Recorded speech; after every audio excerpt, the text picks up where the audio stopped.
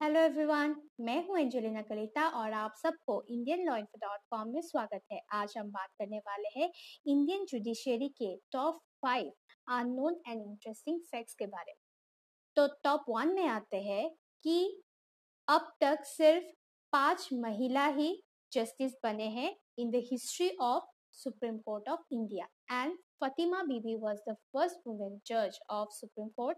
She was appointed in 1989 and was the first Muslim woman to be appointed to any higher judiciary.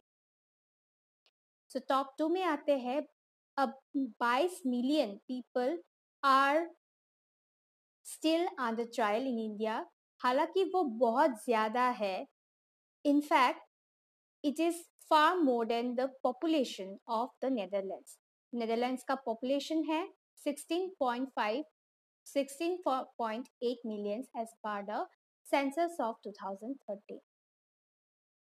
Top three में आते हैं कि India में हर 15 जजेस जजेस है पर for every million people so यही रीज़न है कि हमारे कोर्ट्स में अभी तक क्रोर्स ऑफ़ क्रोर्स केसेस अभी तक पेंडिंग है यही रीज़न है कि हमारे जो जजेस का रेशियो है, वो वर्ल्ड्स के जो रेशियो है जजेस के, उसके कंपेरिजन में बहुत ज़्यादा कम है। That is the lowest ratio so top four में in 2013 in cases as many as 85 of people put on trial where पेनी तो सिर्फ़ only the 15 percent of people are been acquitted but other the rest 85 percent of people are still on uh, still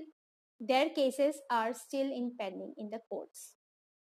So last one is right to information also includes inspecting works documents records taking notes extracts and certified copies of documents or records taking certified samples of materials also it also includes obtaining information in form, in form of printouts or any other electronic mode or through other modes. So these are all about interesting facts about our Indian judiciary. I hope you have got all the information required. Thank you. Have a nice day.